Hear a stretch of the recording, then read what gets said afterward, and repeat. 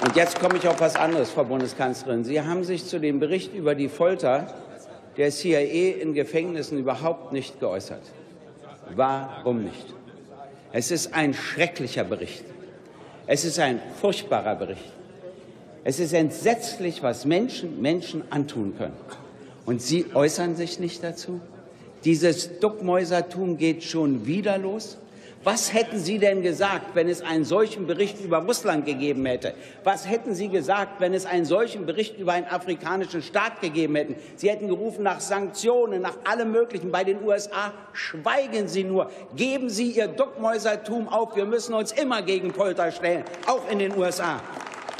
Und ich sage Ihnen, der Höhepunkt ist, dass die USA sogar die Anti-Folter-Konvention unterschrieben haben und glauben, sich danach nicht richten zu müssen.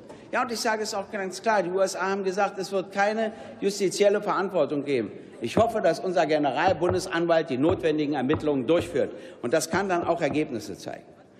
Und wissen Sie, das ist dasselbe wie bei NSE. NSE spioniert uns vollständig auch, macht auch Wirtschaftsspionage. Was machen Sie dagegen? Nichts nichts. Ich sage Ihnen, dieses Duckmäusertum gegenüber den USA, auch das ist nicht länger erträglich und stört immer mehr Menschen in Deutschland. Und nun CETA und TTIP. Sie sind ja so dafür, Frau Bundeskanzlerin. Erklären Sie doch mal den Leuten, was das bedeutet, wenn wir ein Verbot von Investitionshemmnissen haben. Dass man keine Steuer für einen amerikanischen Konzern erhöhen darf, dass man nicht mehr Mitbestimmung einführen darf. Sie machen Politik unmöglich.